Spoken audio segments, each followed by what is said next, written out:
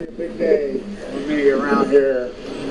We got some hope on the San Onofre waste. I'll be up there at the reactor, looks like today. I'm meet with PG&E, well, excuse me, some DOE, some of the people that are making the choices on that waste. So, I don't talk enough about this. I should, I need to talk more. You know, on big sunrise, on sunset, I do my gig. I have my thing I go through. I've really never showed it. This routine, this meditation routine, how I survived AML leukemia, multiple myeloma. I'm a one percenter. That's a John Hopkins one percent survival bracelet. You know, and my doctor says I'm the biggest. Vincent says this four-year brilliant oncologist career, I'm the biggest miracle he's ever seen. I want. I don't talk enough about this. The only reason I'm alive is because my anti-nuclearism, my stance. Vincent Hampton's a famous old anti-nuclear oncologist, the greatest. He saved my life. I had a stomach ache, just out of nowhere. Think about the timing of it all. Dad's due to speaking to cottage while going around chin, you know, my neighbor mega dairy spraying Roundup all my house. They're going psycho to the state. It's going to give us all cancer. It's going to give us all cancer. It's going to give us all cancer. And so,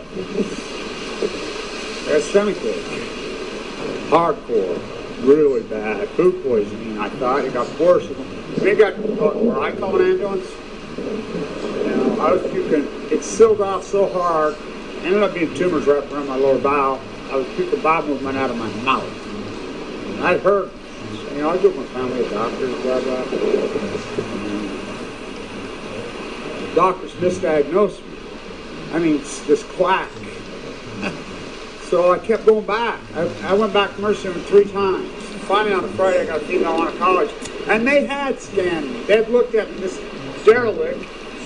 Anyway, I was watching the Isaacson Steve Jobs interview on the, in the waiting room in the hospital. I calmed down a little bit.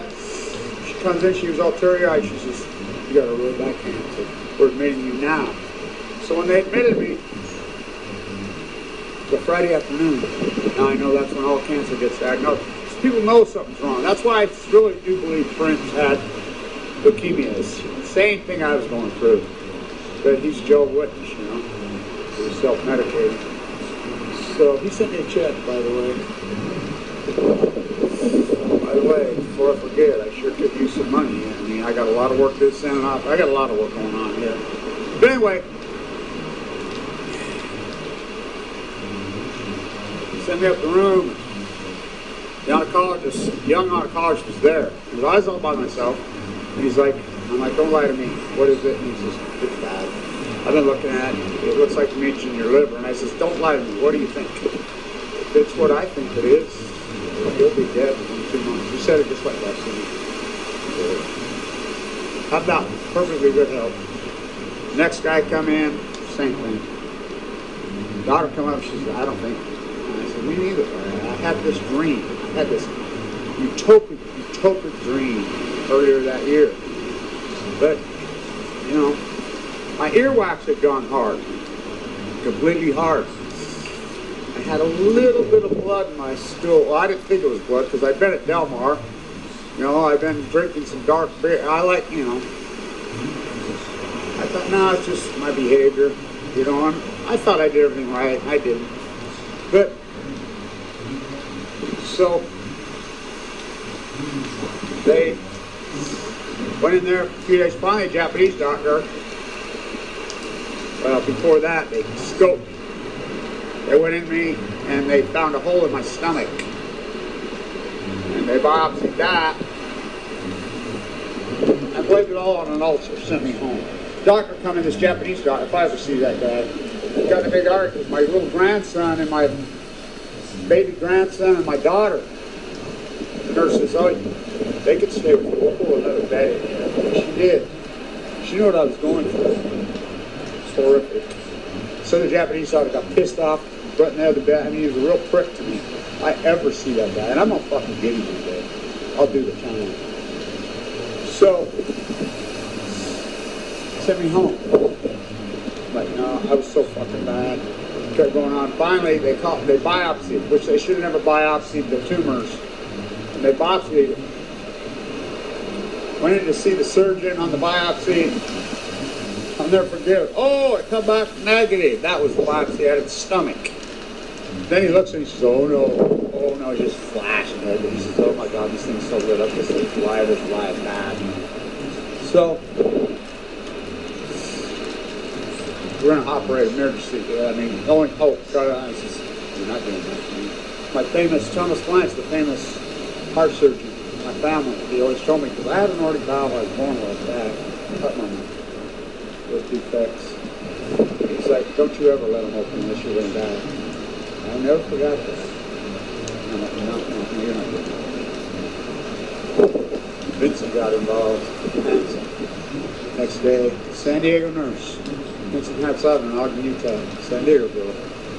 To a table in a biopsy. I found a YouTube video. I was in so much pain. This gone this whole thing went on for three weeks. I was in so much pain. I went to the Huntsman. Huntsman Cancer Luxury Good of Death is still trying to sue me for $1,300 for a phone call consultation. Fucking dirtbags. So,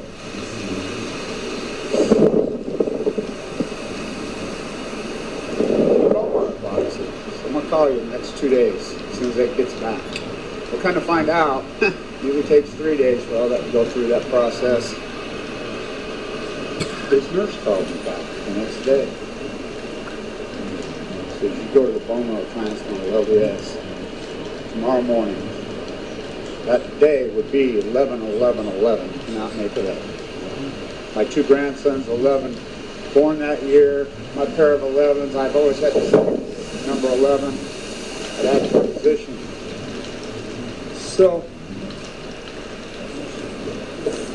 important I talk about this. I went in, I'll never forget it when I went to see him originally. He'd known me since I was a child. And he says, Kevin, you know, you know, my father and brother both died in Central Utah of thyroid cancer when I was born. And I knew he was a hardcore anti-nuclear. But I didn't know Kimbo Peterson was the top LDS East 8, which the Danes are hardcore anti-nuclears. That's the only reason I got him. And he's like, now that I know, I didn't know this then. I called him back, a nurse. I, I mean, I said, Bomar, it's leukemia. My father died of that. That's it. I knew. I just broke down. So, I found a YouTube video in the meantime, and I had 14 views. It was a pathologist. I've talked to that pathologist personally, saved my life with that video. For his students, talking about the pathologist getting wrong. He says tumors in the lower right mesentery of men are hard to diagnose. It's incredible. And he says, I believe they get it wrong more than they get right. That's on my life because I'm like, this pathologist got it wrong. He's got it wrong. I went to the pathologist. I said, you got it wrong. He said, ever had one wrong in my life? And I'm telling you, I was in such epic pain. I mean, contractions like you wouldn't believe. And I was in shape like you wouldn't believe. Muscles from head to toe. So, I go in. I call back Vincent. He's all choked up. I mean, he's like, Kevin, you have a really nasty, horrible cancer. I believe in you. There's a doctor. I'm not going to LDS. He says it's under construction. I said, it's always been under construction. It's a shithole. Well, let, me, let me go to the other video. Doctor named got like tons of videos. This guy. This He's nasty. awesome. Now, I He's would my new hero. But I've known you since you was a kid. Uh,